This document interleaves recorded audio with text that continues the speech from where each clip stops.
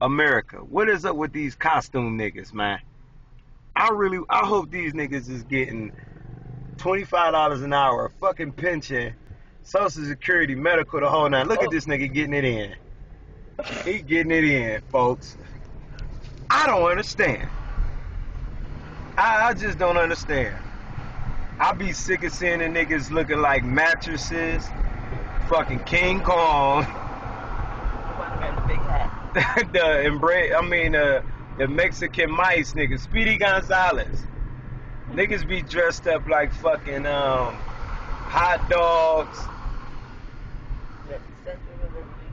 The stat, oh shit, the Statue of Liberty, and it ain't be tax season. I'd be like, what the fuck, man? this niggas is horrible. I hope to God, cause nigga, today it is 99 degrees. And this nigga had on a big ass costume, man. And I hope he, ah, if, if they do get air conditioner in them bitches, that's talented. Cause how could you walk around with an AC on your goddamn head? Like if them niggas put ACs in a big ass costume.